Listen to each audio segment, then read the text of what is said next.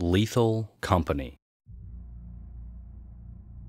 Chances are, I don't need to explain this game or its impact in recent months to anyone watching. We all know that Lethal Company is a game that's achieved massive success after its launch in October of 2023, becoming one of the most played games of the year despite only releasing on Steam and only being in early access. Although its visuals and clipping prone Unity programming may not allude to it, Lethal Company has succeeded in creating an atmosphere of near constant suspense and a gameplay loop that's as addicting as it is mysterious.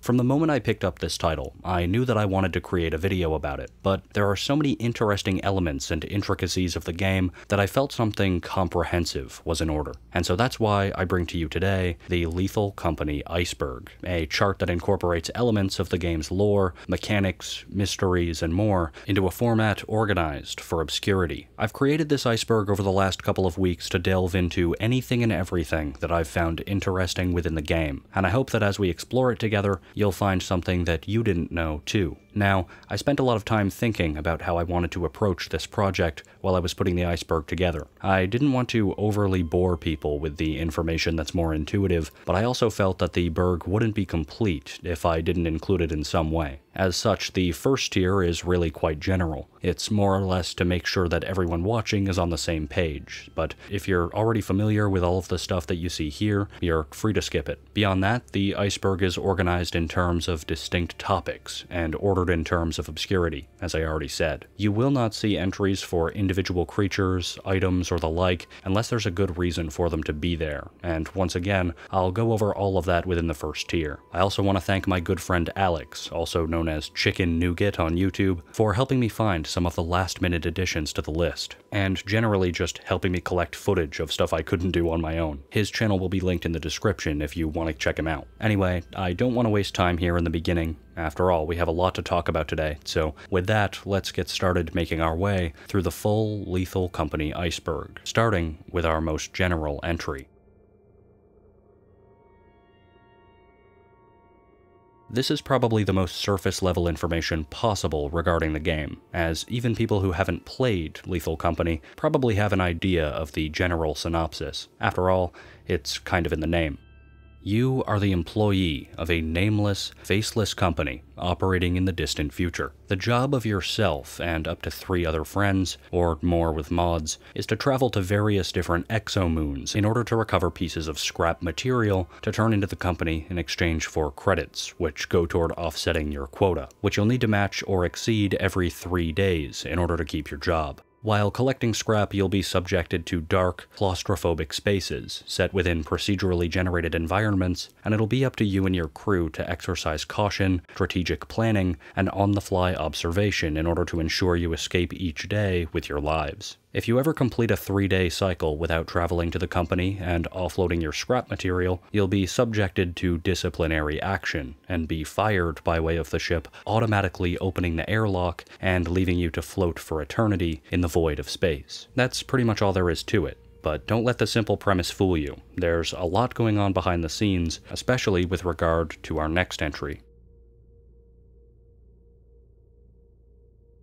Without a doubt, one of the most mysterious elements of the game is the Company, an organization that we only ever really interact with by way of certain functionality on the ship, and of course, when we turn in our scrap. Officially, there's nothing we can definitively say we know about the company, other than the fact that their alleged home base is located on the moon 71 Gordion, which has no natural land masses to speak of and experiences continual storms. Even when turning in scrap, we are never shown to interact directly with anyone at the company. Instead, we leave the material at the window, ring the bell until it opens, and step back as a giant hook or tentacle draws the goods inside. Whatever this appendage may be, we know that it belongs to Jeb, an inhuman creature of some sort that presides within the monolithic structure of the company building. But aside from the fact that he'll become very irritable if annoyed through ringing the bell or making loud vocalizations in front of his open window, there's not much known about Jeb either. The most that any players actually see of him is when they've angered him and he reaches out his appendage to draw one of them inside.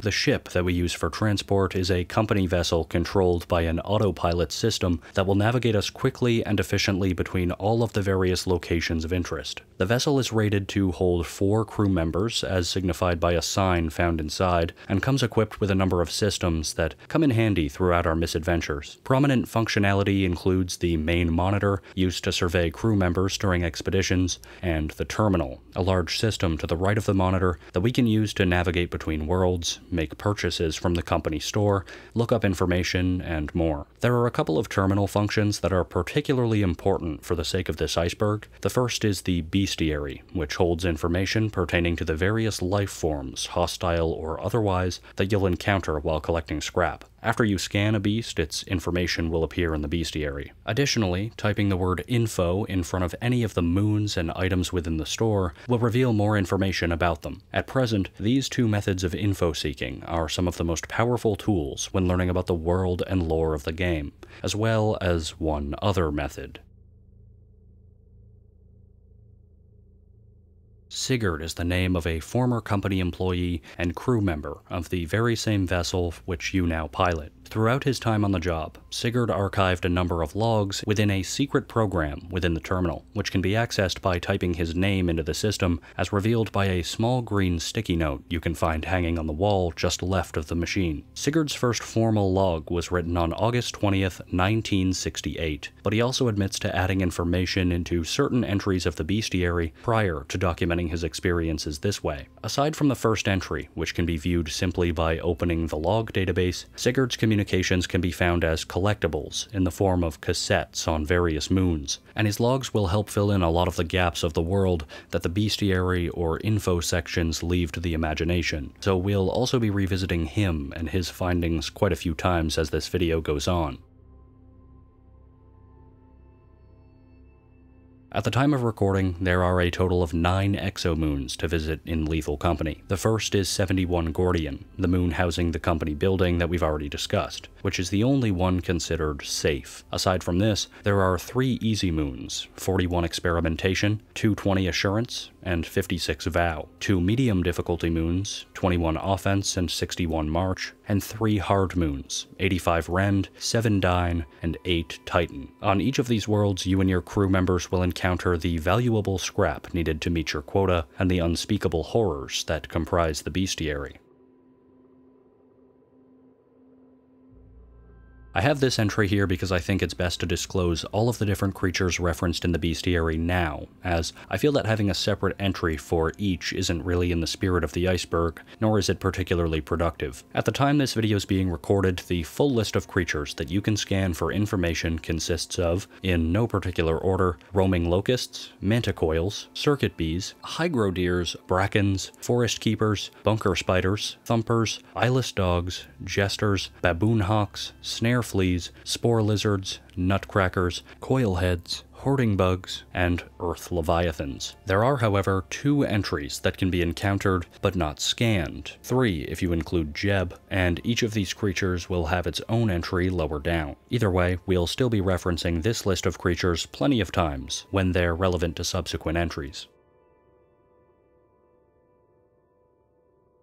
When you use the terminal to purchase something from the store, unless it's a decoration or costume that stays within the ship, it will be delivered to you the next time you land on a moon via a delivery drone. The drone's landing location differs from moon to moon, but its arrival is always signified by it playing a rendition of the folk song Turkey in the Straw, accompanied by a bright flashing light which can be used to locate it. If you know where the drone lands on your moon, then make sure you're not standing directly underneath it when it touches down, or you'll be crushed. Instead, keep a safe distance and only after it starts playing its song should you calmly walk forward to retrieve your items. If items are not picked up in a timely manner, the drone will take off again without dropping your stuff, and your purchases will not be refunded by the company. The service manual is an item that exists within the ship, and functions as a sort of general instruction manual for using equipment ranging from your echo scanner to the terminal of the ship and the procedure for turning in scrap to the company, complete with a full list of warnings that'll help you not get eaten by Jeb. It's pretty handy, and you should definitely take some time to give it a read if it's your first shift. Zeekerss is the solo developer responsible for the creation of Lethal Company. They've created a total of three other games on Steam, all themed around horror elements in some way, and they have a fifth experience, Welcome to the Dark Place, on the way. The way that most people know Zeekerss, though, is not through Steam at all, and rather through Roblox, a game that I had never thought I would have to mention on this channel, but lo and behold, here we are. Even here, Zeekerss is most well known for their horror experiences, and has garnered quite a following for their legitimately compelling works. Released on December 9th, 2023, version 45, also known as the Frosty Update, is a relatively recent patch that included a lot of new material for the 2023 holiday season, and although it's no longer the most recent update as of recording, its content is significant enough to warrant a brief mention. It's also the version that the game was on for the majority of my time creating this video, so I think it's important to address it in the first tier for a little bit of context. It introduced a number of additions and changes, as revealed in a promotion promotional video, and the patch notes were delivered in a jolly holiday poem format, which is kind of funny. The biggest changes were the addition of the Nutcracker creature type, which is found most frequently on the ice moons Rend and Dine, holiday-themed changes to the delivery drone, which now sports Christmas lights, complete with a star at the top, and a new rendition of the signal song in the styling of We Wish You a Merry Christmas, as well as the addition of the spray paint can, signal translator ship upgrade, and the dramatic masks, which we'll talk about a little bit further down.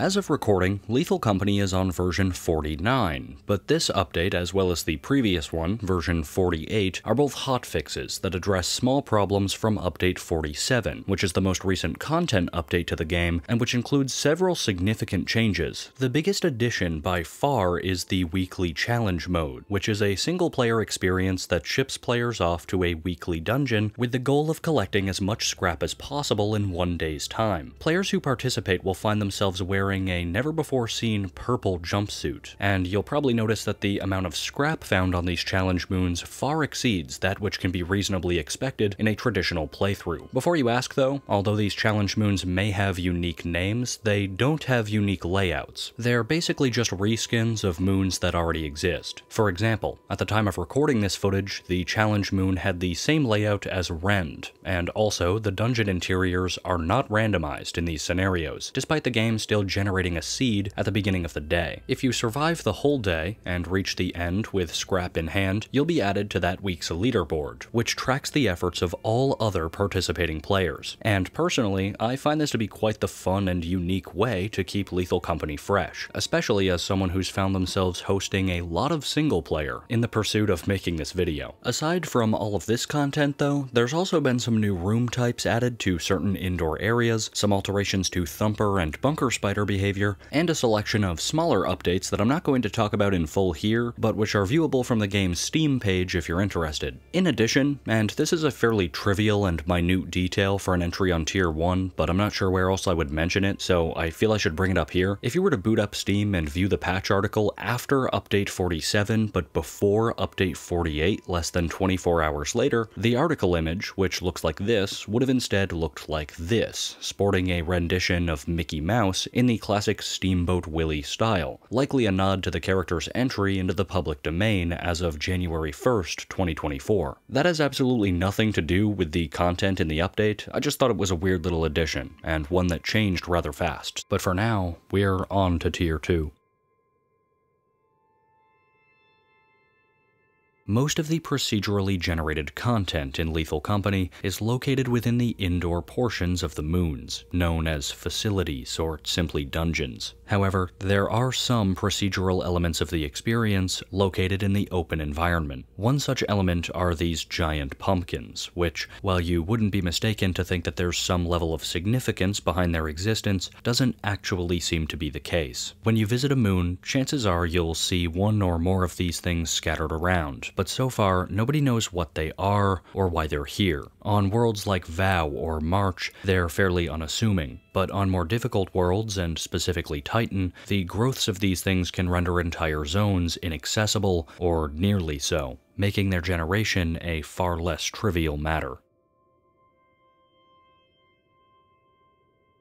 Circuit bees are another enemy that occur outdoors on hostile exomoons. Their signature ability is emitting an electrostatic charge that can cause serious harm, thus posing a significant threat to both lone explorers and groups alike. It's by stumbling too close to their hives, located on the ground or atop elevated surfaces, that these beasts are generally provoked. However, the hives themselves can actually prove quite valuable if they can be recovered, which has led to a subset of players intentionally seeking out the boldest and most effective strategies with which to procure them. This has led this particular pursuit to become known as hive running, and the players who partake in it, hive runners. I've given a try to this myself with some friends, and it's a more difficult pursuit than I had initially thought, so big props to all of the skilled hive runners out there. It's not as easy as it may at first seem.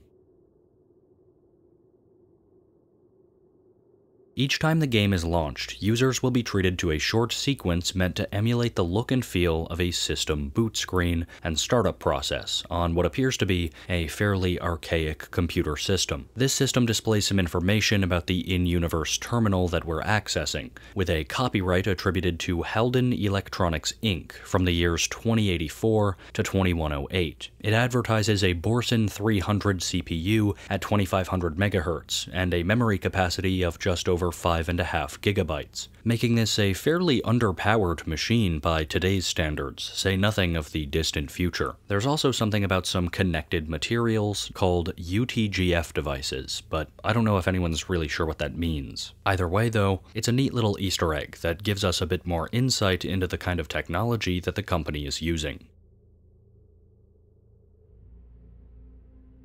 In a similar vein to the boot screen, there's a special splash screen viewable on the terminal only when you have first started the game fresh with no save slots. The screen cannot be obtained again, even if you delete all of your saves and start a new one, unless you also uninstall the entire game, wipe all data from the save and install folder, and then essentially start the game factory new. That being said, since every player who's ever used the terminal has necessarily seen this screen, it ranks high on the iceberg despite its fleeting appearance. The screen itself holds the same copyright information as the boot screen did, and gives us a little bit more information about the terminal's Fortune 9 BIOS, as well as the current date and time, where we learn that the year that the game takes place is actually 2532. The system will then field a couple of preliminary questions, these being your favorite animal and your role in a team dynamic. Your answer to these questions doesn't actually matter from what I can tell, so feel free to input anything you please before you'll be taken to a welcome screen and allowed to use the terminal as normal.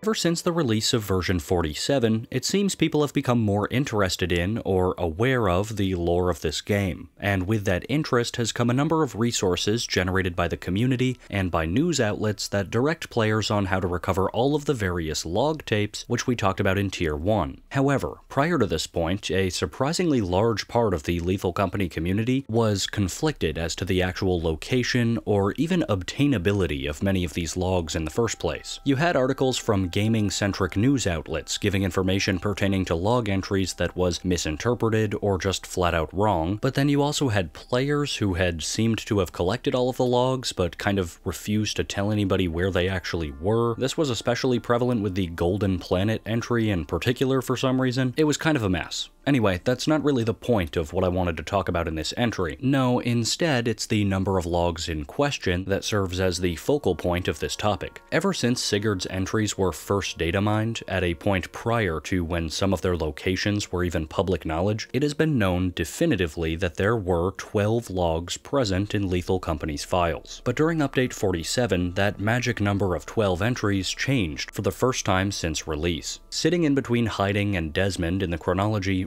Real Job is the first log to ever be added to Lethal Company via a patch, and with its inclusion, many players have been left wondering how many other missing logs or pieces of lore may be implemented in the future. There are two types of dungeons that can be generated in the game, and have different chances of spawning depending on the moon being explored. These two variations are commonly referred to as the industrial and mansion style layouts, and each one differs in appearance as well as some generative properties. Industrial types are probably the type that you're most used to seeing. These facilities are meant to emulate the look and feel of an industrial corridor system used in something like mining, shipping, or for military purposes. The main material palettes at play are concrete and steel grating, with these types of generations being the ones which lend themselves most to the exteriors of the places in which we visit. Mansion style layouts, on the other hand, spawn much less frequently on virtually every moon, with the exceptions of Rend and Dine, where their chance of spawning is actually higher than the industrial variant. While industrial facilities open into small chambers with up to three doorways leading to different wings of the location, mansions are immediately recognizable for opening into a large foyer, with an ornate staircase in the middle and a second floor with a much wider selection of hallways to choose from. Aside from the entryway and general theming, each of these dungeon layouts also hosts a completely unique palette of rooms, only accessible within facilities of that type. For example, these weird backlit window rooms only appear in mansions, while this manufacturing area hosting a slag slide of some sort only appears in the industrial generation.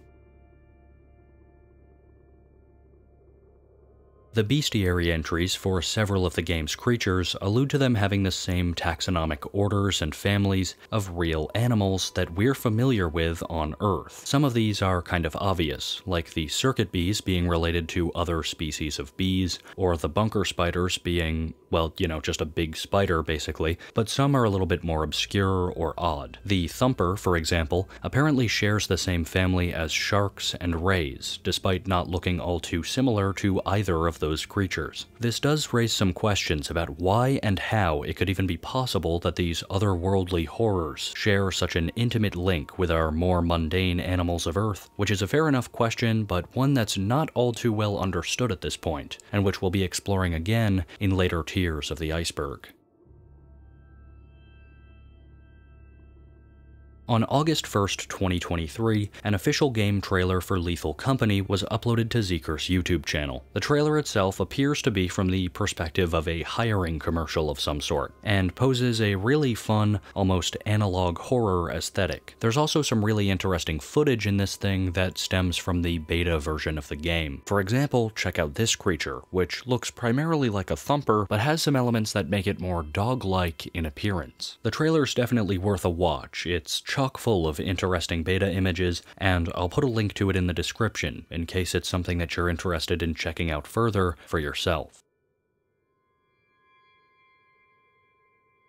Perhaps the largest unsolved anomaly in this game is the significance of this object, hidden underneath the landing area of the company building and accessible via the same trapdoor that's used to find the Screams Behind the Walls log. In order to reach this hidden area, you have to do a bit of clever jumping, and the goal is basically to continue working your way into this system of girders and scaffolding until you reach a platform, which will contain the object, as well as a lever hanging from the ceiling that can be used to flick on a light switch. Many people presume that this object, which seems to be a drill of some kind, alludes to future content yet to be added to the game, in which we'll be able to use two apparatuses in order to power on this system and allow it to punch through the wall of the company, right where this circle is spray painted. The setup of the area in its current form doesn't leave a lot to the imagination in terms of what its purpose may be, but there are still a number of remaining questions, such as who put this here, and if or when we'll actually be able to use it. When you visit the company to turn in scrap and make your quota, you have the option to turn in gear you purchased from the store just the same as any other materials. If you do this, Jeb will scoop up the gear just the same, but you won't be awarded any credits for collecting it. Generally, there's not really any conceivable reason to do this, but I guess it is an option if you're trying to get rid of something that you bought accidentally. Most of the time I'd advise against it and just suggest that you save those things until they can be used more effectively, though most players I imagine have discovered this the hard way instead, by placing down a material that they had in their offhand by accident. There are currently two types of monsters in the game that cannot be scanned and are therefore unlisted in the bestiary. The first of these mobs is the Ghost Girl, the rarest and certainly one of the most intriguing enemy encounters in the entire game. Manifesting as the stereotypical little girl you might see in a horror movie like The Shining, this creature is unique since they're not visible to all players, and instead will haunt a single player at a time while remaining undetectable to everyone else. She's a really interesting encounter that's bound to freak people out when they first discover her, and remains a challenging adversary even for experienced players. The other mob is the Masked, or Mimic, which spawns as a player wearing one of the dramatic mask items that I mentioned in the holiday update section. The masks themselves are actually a fairly common drop, especially on harder moons. There are two variants, comedy and tragedy, both of which can be picked up, moved, and dropped without any issue. But the danger begins when pressing the left mouse button while holding one, which causes the player to raise the mask to their face as if putting it on. The comedy mask is a lot more forgiving in this regard, allowing you to hold it up for multiple seconds at a time in many cases without any problem, though it can result in the object taking over your body and turning you into one of the masked. The Tragedy Mask, on the other hand, will start the transformation sequence as soon as the left mouse button is clicked. One more thing that I realized I forgot to mention while wrapping up this section is that while you're in possession of some of these masks, they may periodically let out some strange ambient noises, such as a devious laugh or a sharp inhaling sound meant to seem like crying. As a masked, a player will die, but their body will become the host of the mask itself, which will wander around in a fashion similar to a zombie and attempt to grab other players to turn them into masked as well. As mentioned earlier though, entities that look like masked crew members can also spawn independently on the moons Rend and Titan. Finally, both of these unscannable mobs, the Ghost Girl and the Masked, are the only creatures in the entire game that can spawn in and travel between indoor and outdoor spaces.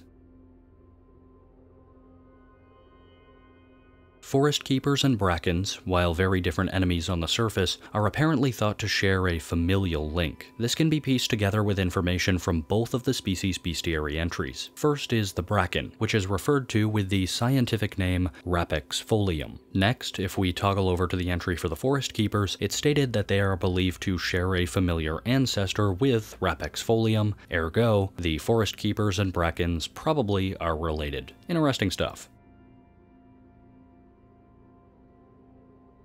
Ever wondered what happens to the scrap that you leave at 71 Gordion? Well, a common theory is that Jeb, the creature that accepts the material in the first place, actually just eats it, and the process of feeding Jeb is basically the entire goal of the company. This one kind of goes beyond the territory of pure theory though, as it's actually referenced by Sigurd as being the definitive reason that we're doing all of this work. The only reason that I personally consider this a theory at all is because at present, we're missing some of the more nuanced information as to just how Sigurd and the crew came to the realization that this is what scrap was being used for to begin with. Me personally, I'd say that this one is all but confirmed, and a lot of people have derived this conclusion on their own as well. So maybe the biggest secret of the company isn't really as much of a secret as we'd originally thought.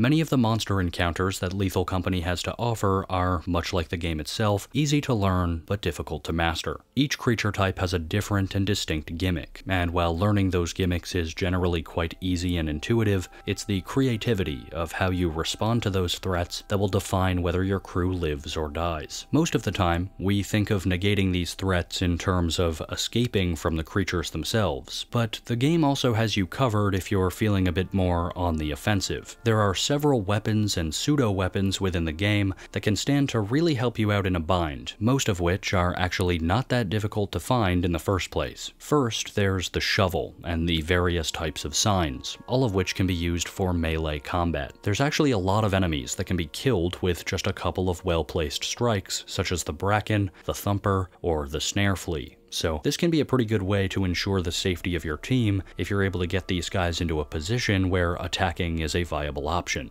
Next, there's a small selection of weapons that can be used not to damage enemies, but simply to deter them while you make your escape or get into an attack position. These are the stun grenade, which can be purchased from the company store, and the DIY flashbang, which has a chance to spawn as scrap on some moons. They're very similar objects except for the fact that the stun grenade will persist after use, whereas the flashbang will not. There's also the zap gun, which, as its name suggests, is a gun that can be used to temporarily inhibit some enemies with an electric shock. Finally, though, there's the double barrel, which is far and away the hardest weapon to acquire, but also the most lethal. You can't simply buy one of these like you can with a shovel or a stun gun. Instead, the double barrel is exclusively dropped by nutcrackers, who themselves take 4 to 5 shovel hits to neutralize. This thing is pretty powerful though, and if you have enough shells, you'll be able to blast your way through more of the game's unholy creatures than ever before. A word of advice though, make sure that before you drop or reload the double barrel that the safety is turned on. If it's not, there's a small chance that the weapon will fire on its own, which wastes valuable ammo, creates a loud noise that can draw in enemies, and potentially can result in you accidentally killing your own teammate.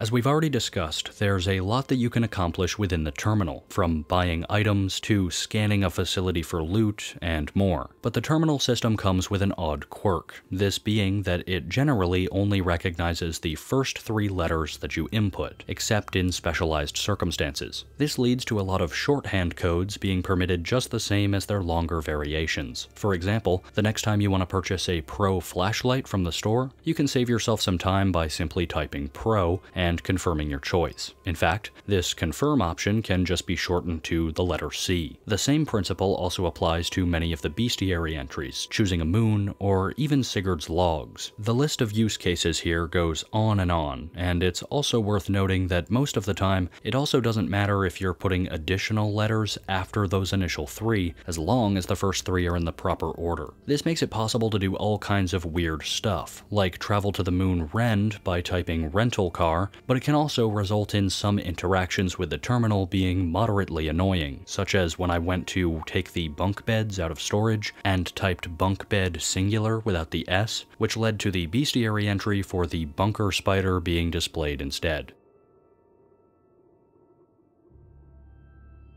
The apparatus is one of the few pieces of scrap that I think deserves its own spot on the iceberg, being as it is a rather unique collectible within the game. The apparatus can only spawn in specific rooms within industrial facilities, and unlike most scrap, they're thought to serve an actual purpose within the facilities that they're found. You see, the apparatus is a power source, and once removed from the wall, it'll cause all light in that facility to shut off permanently, meaning you'll have to explore in complete darkness until you leave the moon at the end of the day. When it's pulled from the wall, the apparatus will also trigger this message to appear in the bottom right hand corner of your screen, denoting an increased health risk due to radiation exposure in the order of 70 millisieverts. For context, 100 millisieverts is the recommended limit for radiation exposure in a professional environment over the course of five years. From a lore perspective, that can't be good. But in terms of gameplay, the message is actually pretty much inconsequential. The more pressing issue is that once one of these has been yanked from the wall, there's a 70% chance that two monsters will instantly spawn somewhere in the facility, so you'll need to be extra careful when toting an apparatus back to the ship. If collected, they're valued at 80 credits, and as mentioned earlier, may have something to do with the mysterious drill object underneath the company platform in a later update.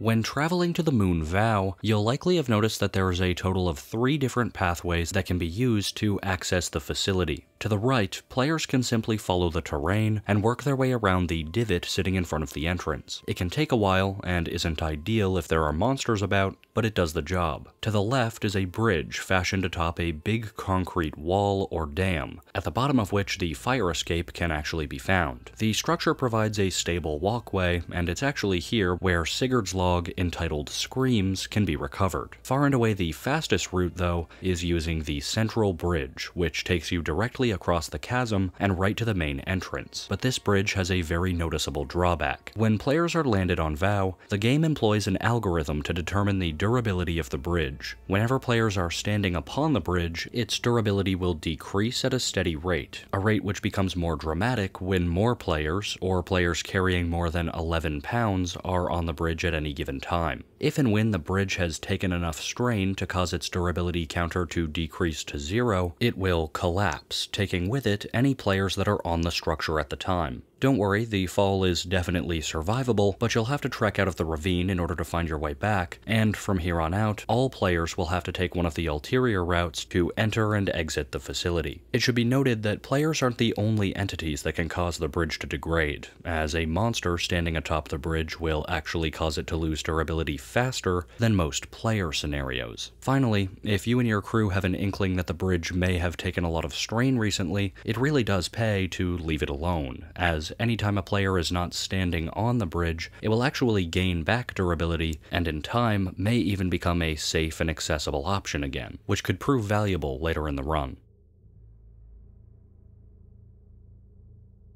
Added in version 45, Arachnophobia mode is an accessibility option in Lethal Company's settings that, as its name suggests, changes the model of the bunker spider so as not to strike fear into any legitimately arachnophobic players. That being said, if you're anything like me, then upon seeing this addition in the patch, you might have been asking yourself, well, how in the hell is this even to work? I mean, what are they actually to do? Remove the model of the spider and just replace it with the word spider or something like that? Well, I'll be damned. Yeah, it's admittedly kind of funny. I'm not really sure how many people legitimately use this setting, but either way, it is an interesting little toggle, and if nothing else, it certainly does let you know exactly what you're looking at, so I guess that's to be celebrated at least.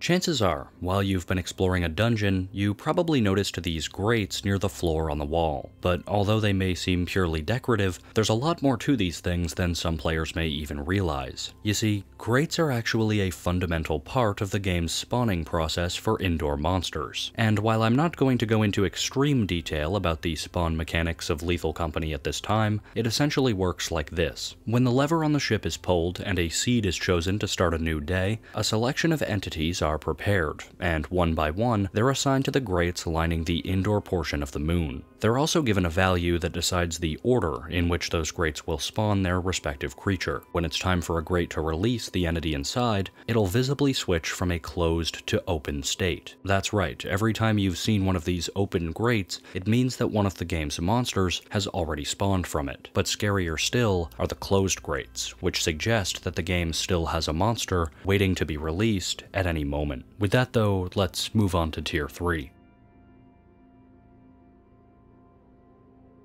Desmond was a member of Sigurd's crew, and is likely the most narratively important member aside from Sigurd himself. Generally, if people can name one other person on the crew other than Sigurd, it's probably him. Desmond has been shown to have had something of a knack for working the computer systems aboard the ship, a talent which led him to most often be the guy responsible for opening doors and coordinating movement between the other three crew members during their expeditions. It was also revealed in the log titled Desmond, which is the last of Sigurd's chronological entries, that he is the reason we have access to these files today, as he was forward-thinking enough to encrypt them, to prevent them from being wiped from the ship after the crew disappeared due to mysterious circumstances.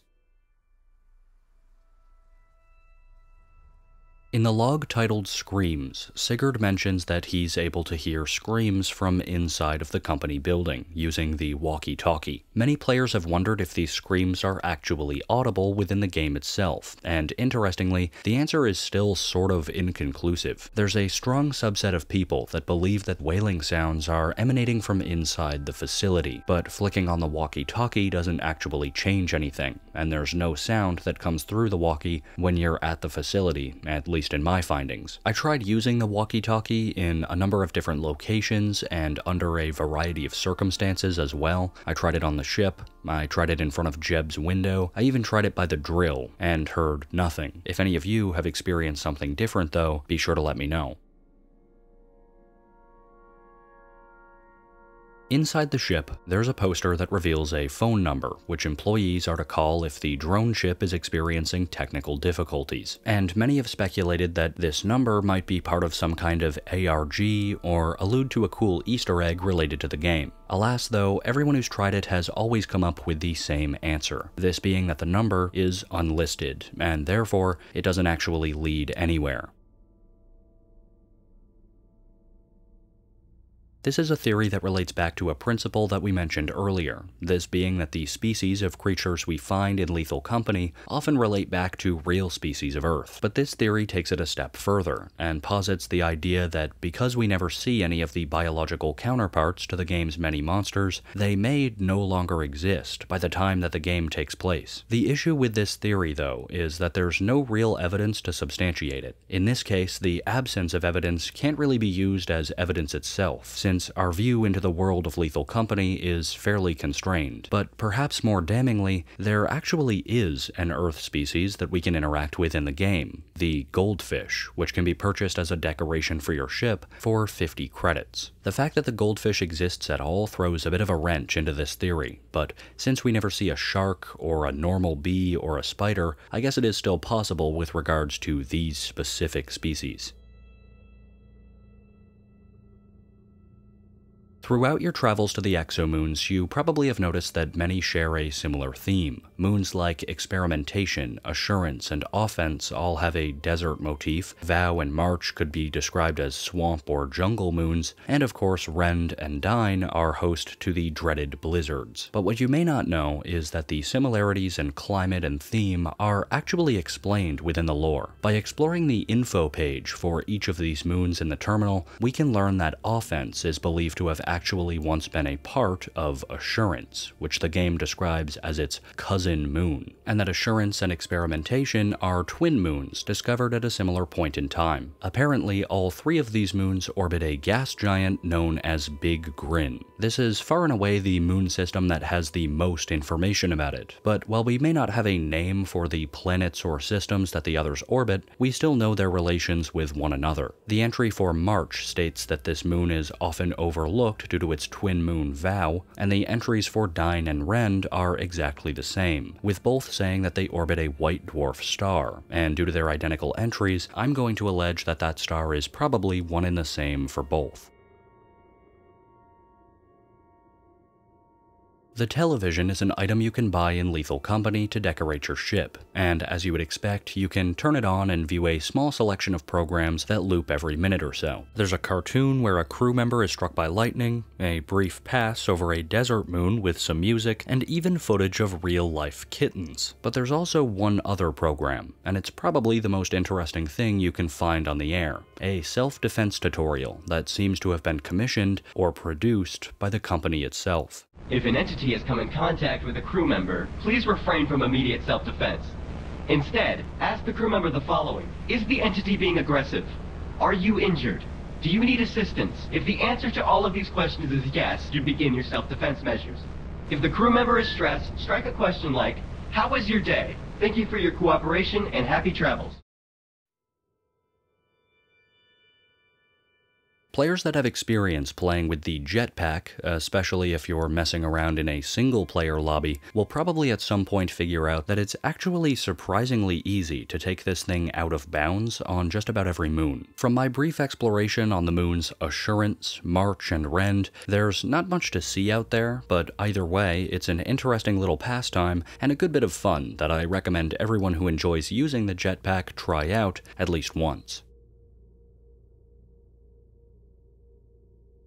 There can be no doubt that the Jester is likely to be the creature type that has the highest capacity for ending your run instantly. Despite looking like something Sid would have brewed up in the original Toy Story, well versed players know that this is one of the worst sights to see on your moon. In this form, the Jester is completely harmless. The most it'll do is follow you around and stay quiet. It's actually kind of fun for the first couple of seconds to have a weird little companion by your side, but all of that changes when the Jester starts winding. As it does, a warped and distorted rendition of Pop Goes the Weasel will begin to play, and it's at this point that if you ever hear this song, you should immediately begin seeking an exit as soon as possible. After approximately 40 seconds from the start of the tune, the jester will pop, resulting in a fleshy appendage sporting a massive skull to emerge from its top. It'll start to chase whatever player it was near when it started winding, and gradually gain speed over time, quickly starting to move at a pace which even an unenamored crew member can't outrun at full stamina. This makes the Jester virtually inescapable unless you're fleetingly close to the exit of the dungeon, and it doesn't stop after killing just one player either. Once its initial target was either taken down or removed themselves from the building, the Jester will pick another crew member in the facility at random and begin pursuing them regardless of distance. It will do this until every person inside the dungeon is either dead or has evacuated, at which point, after a short time, it'll return to its unpopped state and you could theoretically enter the dungeon again, although this process will repeat as long as there are players left on the moon. The reason that I explain this encounter in such depth, though, is because there is a potential way to buy you and your team some time if you find yourself in a scenario where one of these guys is nearby. If you happen to possess a stun gun while a jester begins winding, take aim at it once it starts the song. If done correctly, this can stun the jester for up to 20 seconds before it will resume winding and continue playing. This, in essence, gives you 50% more time in which you can find and communicate with the rest of your team that they need to leave. And while if you're spread thin, this tip probably won't make the encounter manageable, 20 seconds can go a long way in a game like Lethal Company. The Survival Kit is a collection of items that can be purchased from the ship's terminal, which isn't actually listed on the store page at the time of recording. The Survival Kit is always available for purchase, and it contains four flashlights, four walkie-talkies, and one shovel for a price of 138 credits. The only reason anyone knows this exists at all is because it's referenced in the service manual, so unless you've read that or watched a video like this one, this pack is completely hidden from most players.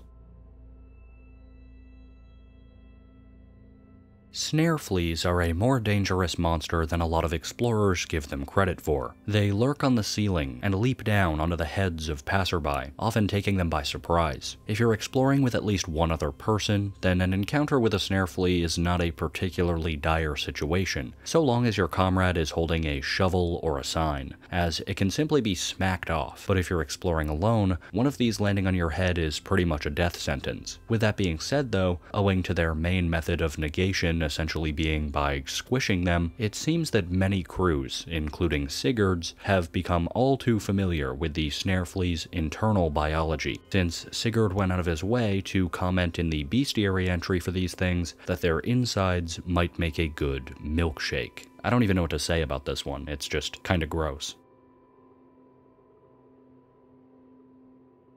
Many have speculated that the company as we know them in the game goes by a different name in universe, one that we're shown repeatedly several times as a matter of fact, and which, if the theory stands, could be said to be hiding in plain sight. The strongest piece of evidence to suggest this probably comes from the service manual, which boasts copyright information not simply for the company, but for Halden Electronics, the same firm that we know to have built the terminal aboard the ship. It's also one of, if not the only other business organizations we know of in the Lethal Company universe. So there's a strong case to be made that Halden Electronics and the company are the same thing. While potentially a visual fright, spore lizards are some of the safest creatures to encounter. With a familial link to alligators, spore lizards are completely herbivorous, and are definitely more scared of you than you are of them. These big reptiles will always try and avoid conflict where possible, slinking out of view before turning tail and running away. Although if cornered, they'll release a cloud of purple spores from their tails and will potentially bite in self-defense, though not with the intent to feed. Being as they are a very timid creature, they're the only monster in this game with a presumed historical link to at least partial human domestication. It's unclear exactly what, if anything, people stood to gain by keeping spore lizards though. Maybe it was as simple as wanting to have them as pets, or maybe they ate away harmful plants. Who knows? Sadly, though, the story goes that the domestication effort was, quote, set aside by an initiative to harvest their tails for their medicinal properties. This actually makes me kind of sad. We could have been good friends with these guys, and instead, we had to go and cut them up for their parts. That's just kind of dismal. In a similar vein to spore lizards, hygroderes are also a pretty non-threatening encounter. These slow-moving blobs are composed of multitudinous microorganisms, and although they are technically hostile, they're so slow and clumsy as to be pretty much ineffective at actually harming a player in most circumstances. If you find yourself cornered by a hygrodere, you've got a lot of options. One is to just have another player place a boombox on the ground, and the creature will begin to move toward it, eventually kind of dancing on top of it, a behavior that was also recorded by Sigurd in the related bestiary entry. Alternatively, you can just kind of close it behind a door and it won't be able to get out, or hop up on a railing to move past it. One of the more interesting things about the hygrodere, though, is its name. At first glance, it kind of just seems like a nonsense term that wouldn't have a whole lot of subtext, but in reality, hygrodere is a Latin term which means to get wet, a title that's definitely befitting of this amorphous goo goo. Let's talk a little bit more about what we can learn from Sigurd's logs, specifically one entitled Nonsense. This log builds off of a story arc started in an earlier entry titled Goodbye, which took place on September 7th, 1968. In Goodbye, Sigurd reveals that Richard, another member of the crew, was left behind on one of the moons after being killed by a bracken. Then, in Screams, which takes place five days later, Sigurd tells us that he was the one to call the company in order to report Rich's death, but can't get over the fact that the voice he spoke with on the phone was the same canned audio that seems to come out of the speaker at the company building, as well as over the ship loudspeaker. Finally, all of this culminates in nonsense, where it's revealed that Desmond traced the phone call, leading to the discovery that the call was not issued from the company building at all. Instead, its source was located across the solar system in the opposite direction, meaning that whoever is behind the company, or at least responsible for fielding calls is effectively as far away as reasonably possible from the work actually being done on their behalf. It's probably one of the biggest and most significant reveals in all of Sigurd's adventures, and most players who've taken a look at the logs will probably be familiar with this story beat, even if they aren't familiar with all of the other material leading up to it. Getting jumped by a coil head can be one of the most nerve-wracking encounters this game has to offer, and for good reason. These things work pretty much identically to the Weeping Angels of Doctor Who fame or the original SCP, number 173, the statue. If you're not familiar with either of those examples though, then I'm happy to say that the concept is extremely simple. As long as you have the coil head in your line of sight, there's nothing that it can do. It'll stand completely immobile, with perhaps the sole exception being its head, which may may bob back and forth since it's on a spring. However, the moment you take eyes off of the being, it will begin to move in your direction at a frightening pace. These things are fast, and it's no wonder that they're so feared, since it causes your team to have to coordinate vision in very specific ways in order to make sure that everyone can exit the facility alive. Anyway, chances are you probably will have either died of a coil head yourself, or have had one of your team members killed by one at some point in time. But since many players don't want to deal with them for longer than they absolutely have to, it's actually fairly rare to find the body of a player killed by a coilhead. If you do find the body though, you're in for a surprise. What you'll find is a Frankensteinian desecration, with the arms of the deceased removed and their heads placed upon a spring to emulate the coilhead's own image. It's an off-putting sight, but at least one which immediately signifies what it is they've died to. So, if you find one of these while playing with your friends or in a public lobby, be on your guard, as there's there's almost certainly a dangerous entity just outside of your line of sight. Most of the time, it's difficult to get an unimpeded view of the game's skybox, but some moons, like Titan, may cause you to wonder what's on the horizon, and well, it's this. This is the backdrop to most or every area within the game. There's not much else to say about this one, I just found it kind of funny. Although an interesting feature of the game, the company buy rate is not something that the average player needs to overly take into consideration. If you're turning in your scrap on the last day of the deadline, then the company will always purchase your goods at a rate of 100% their value. So, unless you're someone who wants to turn in scrap a couple of days early, there's almost never any reason to actually think about this feature. However, what some players may not know is that there is a time when the company may actually be buying your scrap at a rate rate over market value or in other words, higher than 100%. But it's not going to help you very much in your runs. You see, the only time when you can actually see this increased pay rate, at least to my knowledge, is when you've failed to meet a quota. If you're looking at the Moons page during the very brief period of time after you've left Gordion, but before you've been ejected from the ship, you'll see the increased buy rate of 123%. To my knowledge, there's no way to actually get to Gordion with this pay rate and make any extra cash, considering this is the only time when such a scenario arises, but it's still kind of a fun little Easter egg taunting us as one of the last things we see before being flung into the void.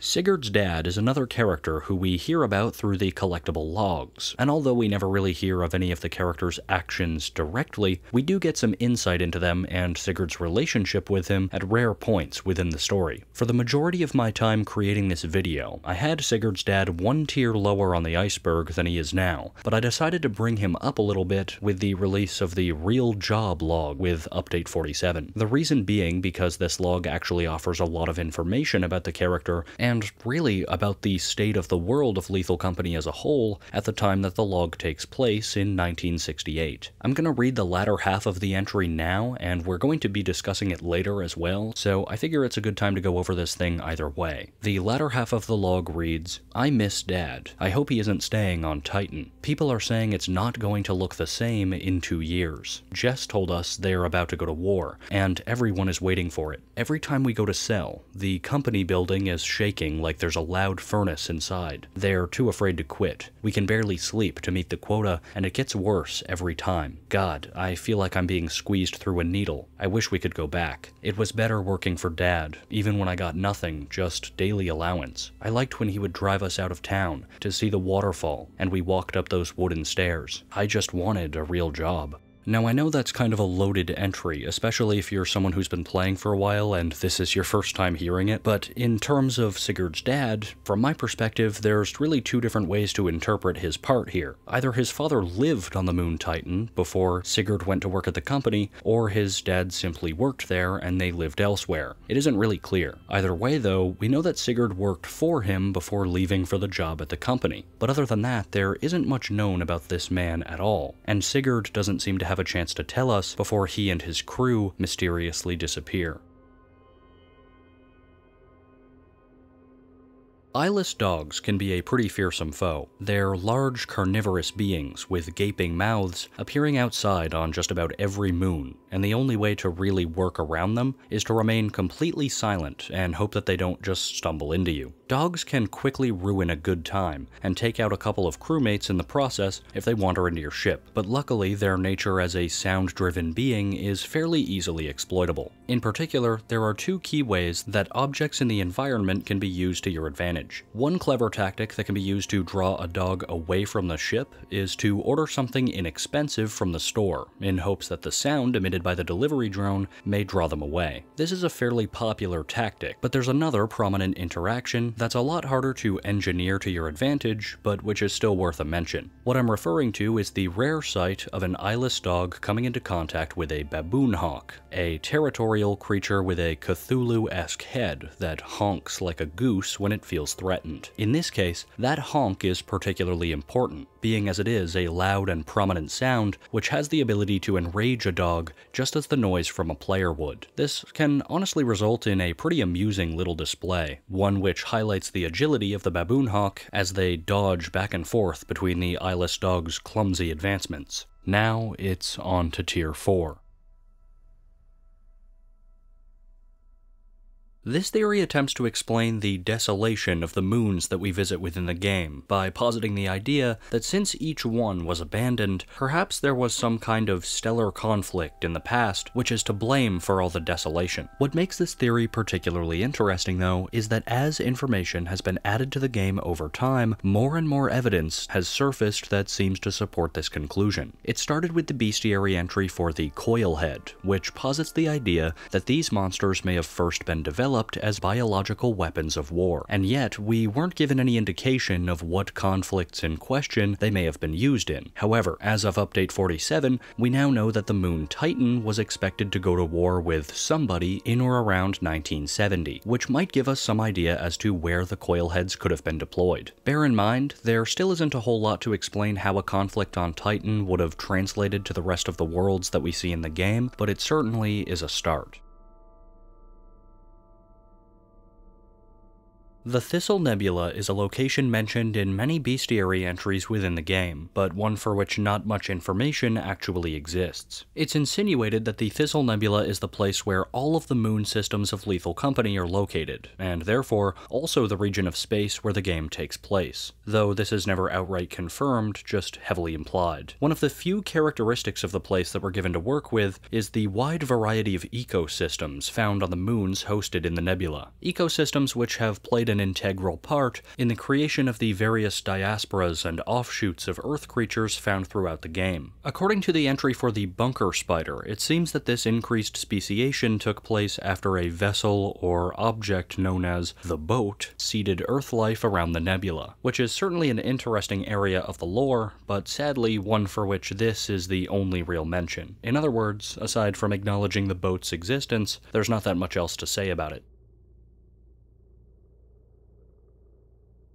Stormy is one of the four weather conditions that can arise on any of the moons that you visit. Much like the company's pay rate, this condition fluctuates hourly and changes each time you board your ship at the end of each day. When landing on a moon that's currently stormy, there may be reduced visibility due to rain, but more pressingly, any metal items will have a well telegraphed chance of being struck by lightning, at which point, if you're holding or simply near those items, you'll be instantly killed. However, solid cover can and will negate the effects of lightning even if you're loaded up with all the metal in the world. So while you may hear the accompanying sparking noises if you're inside a dungeon or the ship, the lightning will never actually be able to harm you. However, the bolt will still hit the ship's roof, and if this happens, it'll cause the lights in the ship to go out. This can also happen at random, and don't worry, the lights can be turned back on. Pretty easily, in fact. All you have to do is flick the light switch on the wall, and everything will go back to normal. But chances are, if you've landed on a stormy moon, and you return to your ship later to find the power off, then a lightning strike is probably to blame. Golden Planet is the name of one of Sigurd's logs, and is the only log for which an exact date is unknown. It's regarded as probably the weirdest and most out there log of the bunch, which is kind of saying something considering some of the other documents we've already talked about. It's so weird, in fact, that I'm actually going to read it to you in full and then we'll discuss. But know that I've also done my best in my narration to correct some of the spelling and grammatical errors, so while I'll show the text in its original form on screen, you may find that you're interpreting it a little bit differently than I am, just let that be known. I talked to a voice on the walkie talkie. It was like a part of the screams. He told me the Golden Planet actually existed. It's not a legend. And he told me it didn't just hit a meteor. He said the planet was swallowed up by the beast, and they were in its body being digested. I asked what the beast is, and he said he didn't know. He said it ate the planet, and they forgot everything. I couldn't get him to stop talking, but I said he was on the other side of a big wall, and I could get him out. I said he was inside the building, and that's when he started freaking out. I couldn't make out a word. I think he said something about spitting out the rinds, so I just turned it off. What a whack. Jess says the Golden Planet is just a story. I said, I know, I'm not an idiot. Well, she said I should quit, and she quits if I do, so she's staying.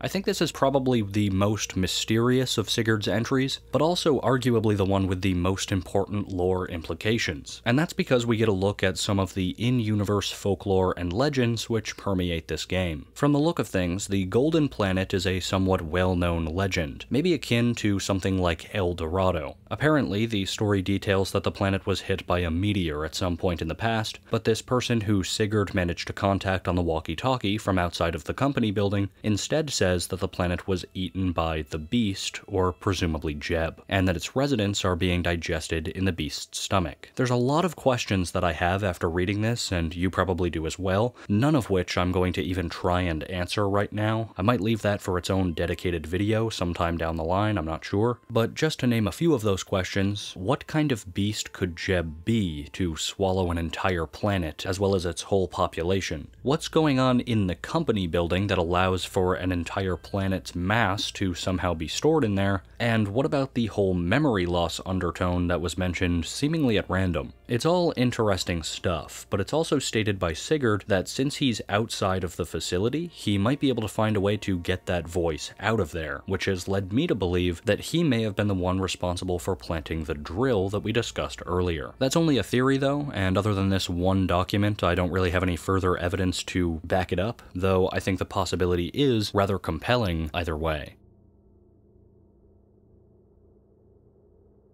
We briefly mentioned the Forest Keepers earlier in this video. They're massive, completely deaf giants that will hunt down players by sight, and if captured, that player will be eaten, at which point other crew members are left to either flee the scene or watch on in abject terror. While most of us probably see the former as the more productive and sensible option, it turns out that there may be some legitimate reasons to hang around while one of your crew members is being devoured, as apparently there's an incredibly small chance chance for a giant to emit something called a stink cloud, which is a type of fog that can be generated by giants who are digesting. The stink cloud allegedly causes obstruction of vision and results in a loss of stamina and health, but the kicker here is that the random chance of this occurring is apparently extremely low. I'm not sure of the exact numbers, and from what I've found, they haven't been published publicly online if they are known, but I recruited my friend to help me try and farm the effect using a modded client, and after around an hour we still couldn't get the effect to spawn. The Forest Keeper page on the Lethal Company fandom wiki suggests that perhaps these red blood clouds are actually the source of the loss of stamina and life, and indeed, it doesn't seem that the substance emitted by the giant during feeding is always necessarily blood. So perhaps there is some legitimacy to this idea, but so far, any attempts to replicate the stink cloud effect myself haven't been particularly successful. I'll keep people updated in the comments and the description though if I do manage to get it.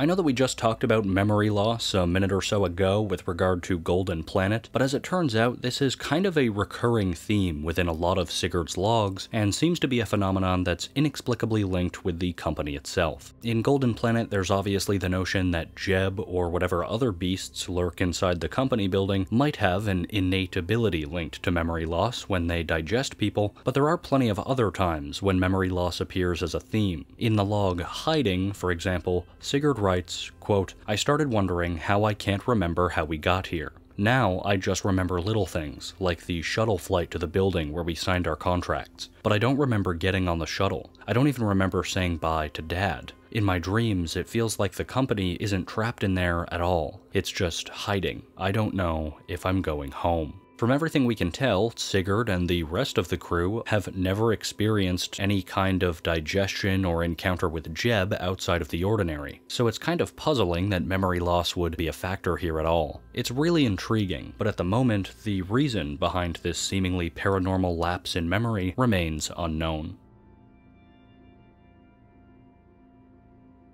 The insanity value is an internal variable within Lethal Company's code that's used in a couple of in-game systems. The value is based primarily off of location and increases at a constant rate for all players depending on where they are. Inside the ship, insanity increases at the slowest rate, at only 0.2 points per cycle, while players inside of the building will have their insanity increase at the fastest rate, 0.8 points per cycle. Players outside will also gain insanity at different rates depending on if it's before or after sundown, and in a single player game, many of these variables are changed and simplified to more accurately cater to the experience. The actual function that the insanity value serves is quite simple. It's used to select the ambient sounds that play within dungeons throughout your time on the moon, but it's also used as a deciding factor in which player will first be haunted by the ghost girl if she is to appear.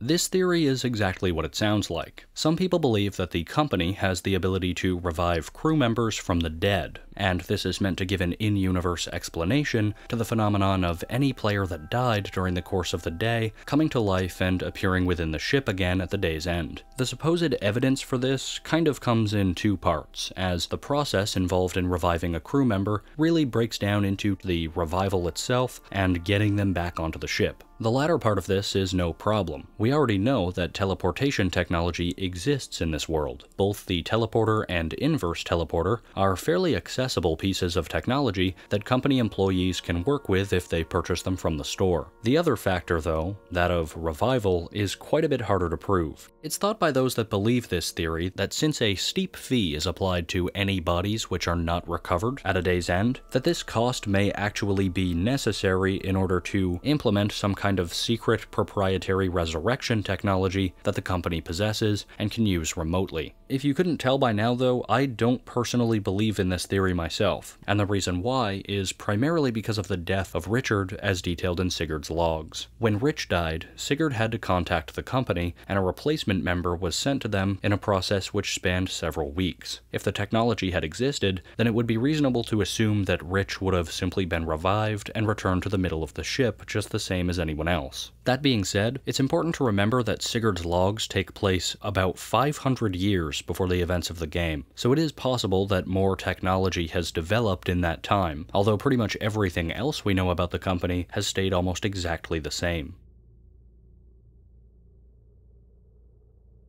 Below the patch notes of the announcement for Update 45, Zeekerss wrote the following. Quote, for compatibility with mods, you can opt into the previous branch on Steam to play the older version. This alludes to a function in Steam's beta menu which allows players of participating games to opt into various legacy versions or branches at their own discretion. In the case of Lethal Company, there is of course the previous branch as mentioned in the post, but there's also another version, which is perhaps even more interesting. By selecting Public Beta, the opportunity to experience a working snapshot of an unreleased version of the game is awarded to you. Full disclosure, originally in this section I was going to talk about many of the same features as are now present in Update 47, since at the time of recording this section, Update 47 was not committed to the main branch of the game yet, and was only playable by accessing the beta. But I have to say, it's been pretty cool seeing that update evolve and finally get pushed to the general player base. So if you're into the idea of experiencing features like this before they see widespread release, then the beta branch might just be for you. Check it out, it's pretty cool.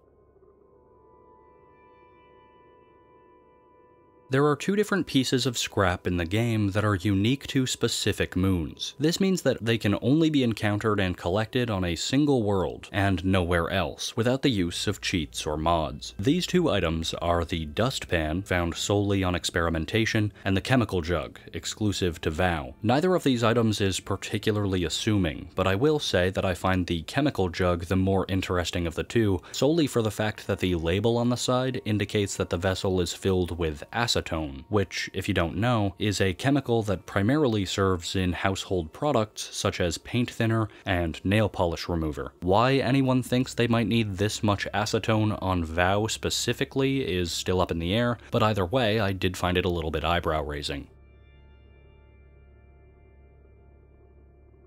Whenever you go to turn in scrap at the company building, you'll probably hear a message once the scrap is collected that should sound something like this. Your hard work is invaluable to the company. The thing is, though, this is just one example of the various lines that can be emitted over this loudspeaker. There's actually a total of 10 voice lines to be found in the game's code, which vary both in the messages they present, but also in their intonation. We value your commitment Now, while you may have not heard all of these, as some are rarer than others, you might be questioning why I've decided to put this so low down on the iceberg. And truthfully, the reasoning has nothing to do with the voice lines that we hear, but rather the one that we don't. While there are 10 lines to be heard, each one following a naming convention of Mike followed by a number, the final of these logs is actually called Mike 11, which is due to Mike 5 being skipped and resulting in a numerical displacement for the rest of the series. This begs the question though, was there ever a Mike number 5? The naming seems to suggest it, but if so, what would it have said, and why is it no longer in the game code? It's an interesting dilemma, but I promise things are only going to get stranger as we continue on to Tier 5. This is the Lasso Man, a creature made of red string that appears within the game's code but is never used. According to data miners, the Lasso Man's behavior is nearly identical to the Thumper, even patrolling the facility at the same speed. But this is likely unfinished behavior, considering the Lasso Man has never been implemented and was likely scrapped sometime during development. At present, the AI's attack function has absolutely no damaging properties attributed to it, meaning it's hilariously a technically harmless enemy. Despite being extremely unfinished though, the Lasso Man still has a unique creature ID, making it possible to spawn this thing through limited mod use. Along with that ID, it comes with its own bestiary entry, albeit a only slightly modified version of the entry for the Snare Flea. At present, it's the only unused monster found in Lethal Company.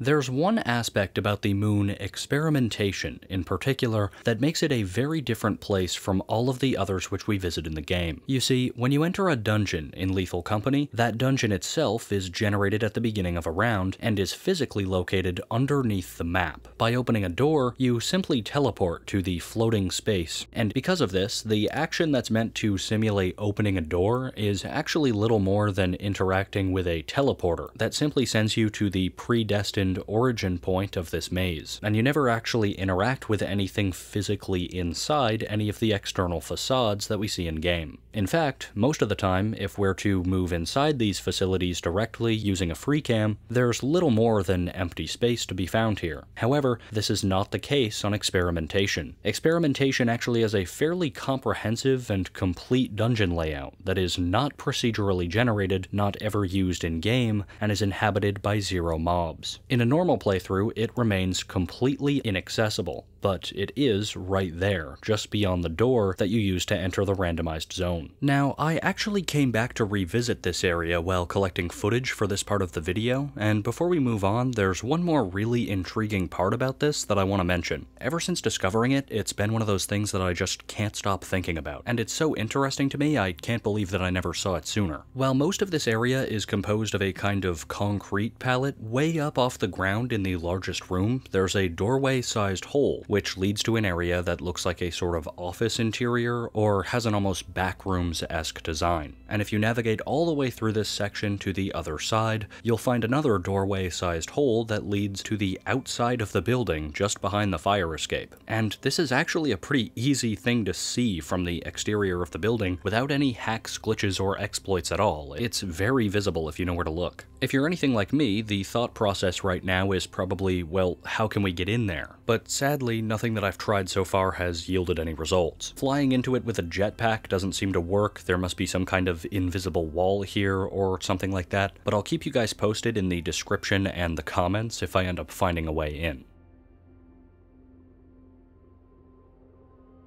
There's a variety of different suits that you can collect throughout Lethal Company by spending credits at the store, the most expensive and prized of which is the pajama suit. But there's also the hazard suit, the green suit, and of course, the decoy suit. But chances are, not many of you have ever even heard of the decoy suit before, and that's because it's never named in game, but you've definitely seen it. The decoy suit is actually the name of the default Orange Company jumpsuit, which I think is worth a bit of questioning in its own right. I don't know if anyone was under the impression that the company actually cared about its employees' well-being, but calling your standard uniform a decoy suit really raises some eyebrows. It seems to insinuate that the company isn't actually all that concerned with what the employees are doing at all. They're just distractions, meant to draw attention from someone or something else.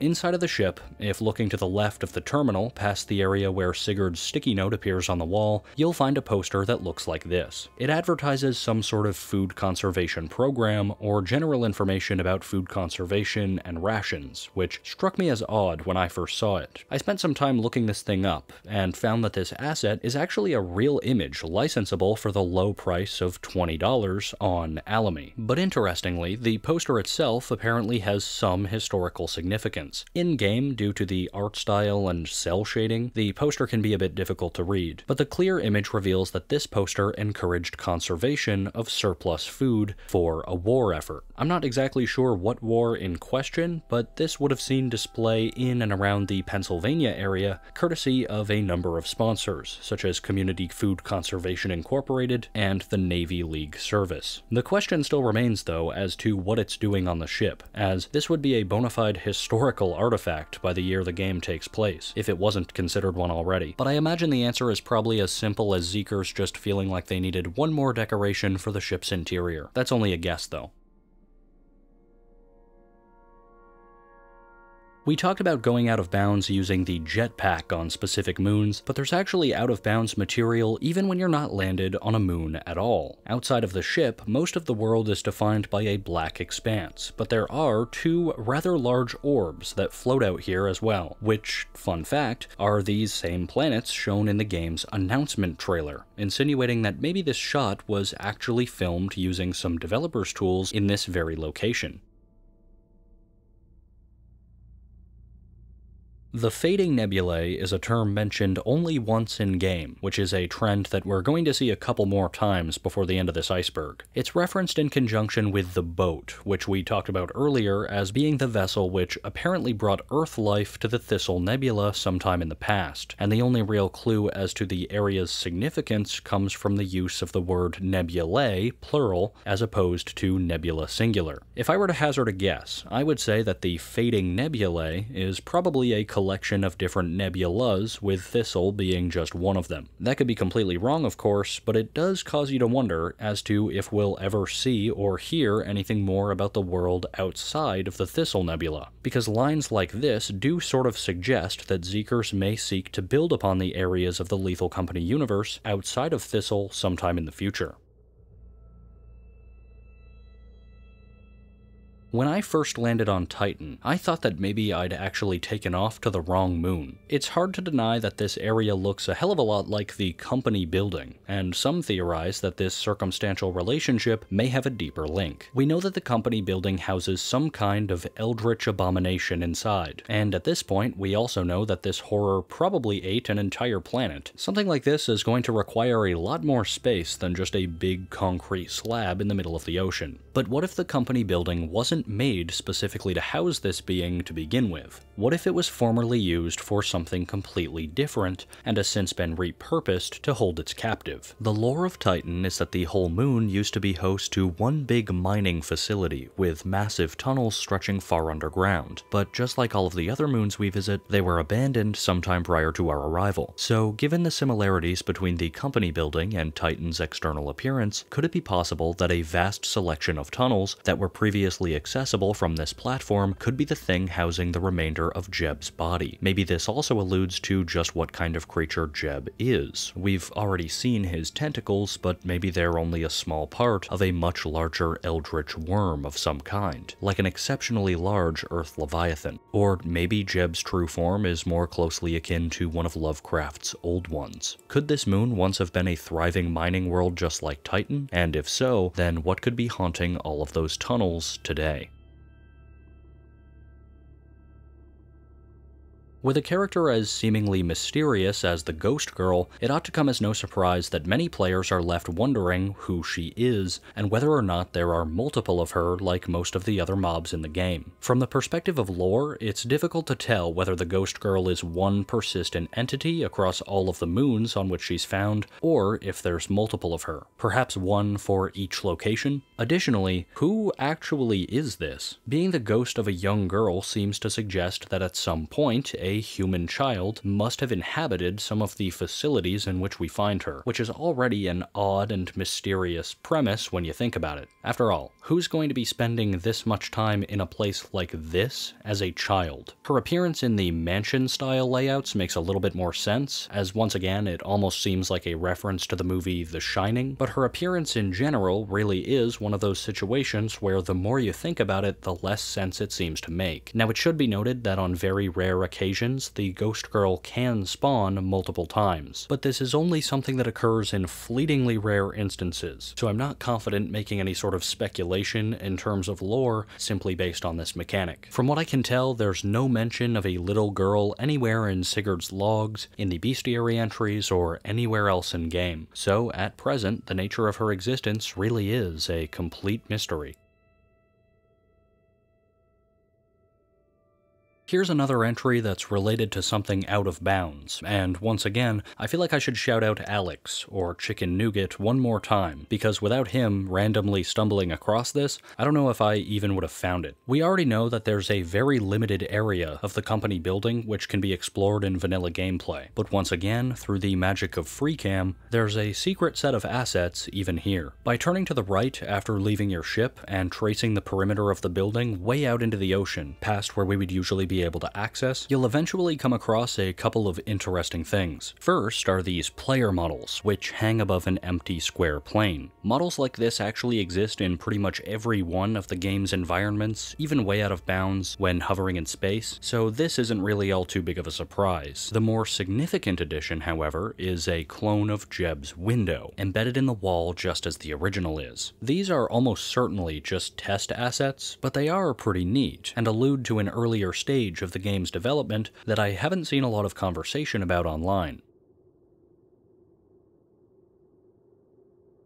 I assume that I probably don't need to explain the concept of a developer test room to anyone watching. Most games have at least one, many of them are well documented, and a rare few titles even make them accessible, playable parts of the experience. These small chambers can take a number of forms, and are generally used to test physics, player and item interactions, and more while a game is still in development. So it probably won't surprise you to know that Lethal Company has a test room as well. It can be accessed with mods, and I believe its most easily observable before landing on a moon. The room hosts a large floor platform, a tilted ramp to access and leave the ship, two large concrete pillars, some small outdoor details, and perhaps most interestingly, a test maze, which boasts red, green, and blue colored walls, as well as some basic parts of a dungeon layout, such as a steel grate bridge, and of course, a door. Unlike all of the other dungeons in the game, this area is not procedurally generated, and it really is just meant for the purposes of testing. It's a really cool little space to play around in, and is oddly peaceful in a sense. Just you and a small playground of interactable items floating in the void of space. We started this tier off with a cut enemy type, so why not round it out with a cut item? The binoculars are an obtainable object occupying item number 0, and visually they manifest as a giant pair of, well, binoculars. Being unfinished, it's pretty likely that this item was intended to be scaled down to player size at a later point in time, but if you were to hack them into the game as they are now, they're going to be quite large. It's thought that if implemented, this item would have made it possible to see over a larger distance, which may may have proven helpful in outdoor areas. However, it may have been scrapped due to conflictions with how the game renders objects at a distance, or because the use cases weren't as extensive as originally thought. One weird quirk about the binoculars, aside from them being massive, is that when placed on the floor or atop another surface, one lens will always clip through the floor, because apparently the collision for this thing is mounted in the center of the object at a 90 degree angle or something like that. Either way, it's always cool to be able to interact with cut content even in a limited fashion. But now, we're on to the final layer of this iceberg, and with just 5 entries, this is Tier 6.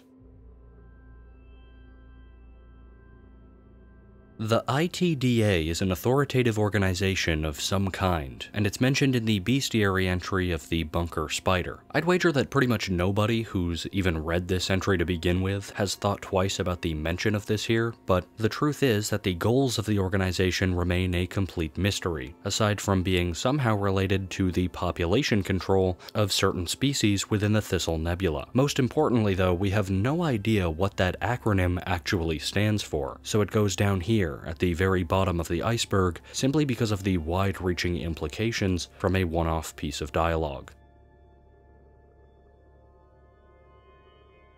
We've mentioned Jess in passing within this iceberg. She's a secondary character and member of Sigurd's crew, but there's an interesting phenomenon that occurs in the game regarding the name Jess, which may or may not be intentional. When we input Jess into the terminal, we get the entry for the Jester. Now, I know what you're probably thinking. I've already said earlier in the iceberg that the terminal only works off of recognizing the first three letters of the input in most instances, so it is overwhelmingly likely that this is simply a result of that same phenomenon. But earlier in time, when there wasn't as much known about this game as there is today, there was a small subset of the community that was convinced that this was actually intentional. There's a fringe belief that survives even now that Jess and the Jester are inexplicably linked in some way, perhaps due to the fact that we never learn of her fate past that final log created by Desmond. It's worth noting that from what I've seen, there's no indication in the game code that Jess has a distinct command, so I wouldn't bank on this theory all too much nowadays, but I would be remiss not to include it here as I think it remains one of the earliest and most strange fringe theories stemming from a time shortly after release when we didn't know as much about this game as we do today. Trent is an internal name used to refer to the goldfish that can be purchased as a decoration for the ship. Or is it? Well, no, actually, it's not. But if you read the Lethal Company fandom wiki at any point in the past month or so, I don't think you could have been blamed for thinking so. This entry refers to a strange phenomenon that has only recently been wrapped up, in which the goldfish article on the fandom wiki was either intentionally vandalized or mistakenly updated with incorrect information about the goldfish, maybe confusing some of the details with some mod or something like that, I don't know. Either way, some of what was said was pretty out there. Aside from the fish's name being Trent, it was said that the fish must be fed at least once, but no more than twice per quota, in order to keep it alive. But if the fish was to die, a replacement could be purchased for half the price of the original from the store. Just so we're clear, absolutely none of this is true. There is no replacement fish, there is no fish food, and it was also this article that was responsible for perpetuating the rumor that the fish could be targeted by the Ghost Girl just the same as a player, which also does not appear true at this time. When I originally wrote down this entry around a month ago, I myself was suckered into thinking that Trent really was the name of the fish, but as the article evolved and got more insane with information that was verifiably false just by booting up the game, the entry instead morphed into talking about this weird microcosm of falsehood that had been spread around on the wiki. With that being said though, I don't want anyone watching to derive any sort of anti-Lethal Company fandom wiki sentiment out of this either. At present, there are two wikis that are kind of the main sources of information surrounding the game. One of them is the Fandom Wiki, and the other is the Miraheze Wiki, which, in my opinion, is the preferable of the two sources, but that's really only because of how bad fandom is as a platform. The community itself is, for the most part, quite diligent, and I really do appreciate all of their work, cataloging, data mining, and the like. I know this kind of got off onto a tangent at the end here, but I truly do believe that wikis are an extremely important resource, and the last thing that I want to do is discourage people from engaging with them just because I highlighted an error that I found kind of funny. Both of these wikis will be linked in the description, and I encourage you to go check them out for yourself if you're interested. We're on to our second to last entry in today's video, but paradoxically, this topic stems from probably the most unassuming piece of text in the entire game. The Manticoil is one of only two creature types that are considered completely passive. They're four-winged birds which share a familial link with corvids, and which can be found in the skies and surface of various moons. Scanning a Manticoil ought to be an easy task, and they're almost always one of the first creatures recorded in any given playthrough. But their bestiary entry holds holds a mystery of its own, nevertheless. Quote, Manticoils mostly feed on small insects, but can also feed on small rodents. They're highly intelligent and social. They pose little threat, and have a generally passive temperament towards humans, although they are capable of transmitting rabies, rubencloria, and pit virus. Well, alright, that sounds all well and good, I suppose, but what the hell is pit virus? And for that matter, what the hell is rubencloria either? Both of these diseases appear to be completely made up and don't appear to have any analogous conditions in our own world. Light Googling revealed no medical results relating to the word rubencloria, and while the word pit virus is somewhat similar to Pitt-Hopkins syndrome, I think it would be a bit of a reach to suggest that these two are connected in any way. So we're left with the names of two diseases that don't actually exist, and which are placed innocuously at the end of a bestiary entry that, were it not for their inclusion, would easily be one of the most banal and unassuming in the whole game. Out of the two, though, I definitely have a lot more interest in Pit Virus in particular. I don't know, I think it's just the way it's named. It just sounds like something narratively important, and it just seems like such an odd thing to include here if there wasn't some deeper meaning behind it. Earlier in the iceberg, we talked about the moon systems which exist in the world of the game, and how they're connected in universe using the info segments related to each. Well, this final entry combines that same principle with another that we've already talked about as well, the out of bounds of the ship, where you can see two floating celestial bodies. There's something that I didn't talk about with regard to these planet renders earlier on, and it's something that I think only the most eagle-eyed of players would have even noticed at this point, and that is that this is not the only planet render in the game. In fact, there's a couple of them. The model that I've been showing thus far is attributed to the moon's experimentation, assurance, and offense, as well as the company moon Gordion. But there's also this render, if you're focused in on Vow or March, as well as this one, which represents Rend, Dine, and Titan. But that's weird, right? We're not supposed to be able to see any of these things from anywhere within the ship, aren't we? So why do they change? Well, actually, we can see them from within the ship, but only in a very limited fashion. So limited, in fact, that chances are you may have never noticed the difference at all. They're actually picked up on this moving camera, and I have no doubt that this is probably the reason that they're generated or displayed at all. It's such a small, inconsequential piece of world building that I'm not sure anyone else I know has picked up on